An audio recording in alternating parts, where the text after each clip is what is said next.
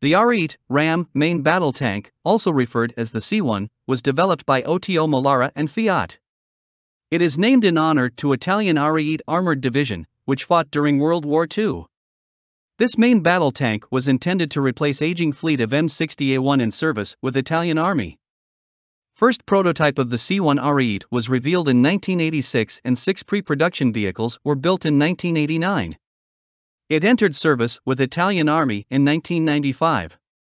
Italy operates 200 MBTs of this type.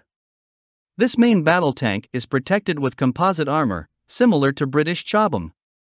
Add-on armor kits can be fitted if necessary.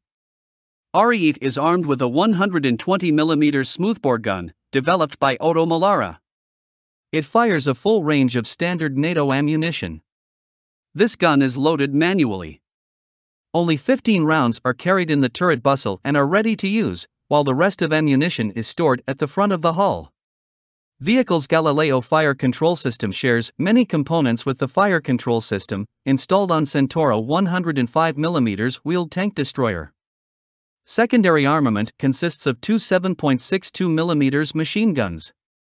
One of them is coaxially mounted with the main gun, while the other is placed on top of the roof. The Ariete is powered by Iveco V12 MTCA turbocharged multi-fuel diesel engine, developing one 300 horsepower.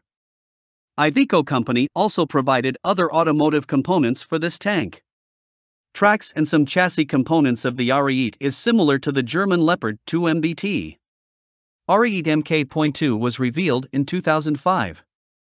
It has a modular armor, 120mm smoothbore gun fitted with an autoloader, hydropneumatic suspension, one 500 horsepower engine and more advanced fire control system. Ariete AMV is an upgraded version. It was revealed in 2022.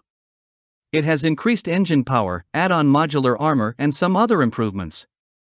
Armored plated was added to the hull for increased protection against mine blasts.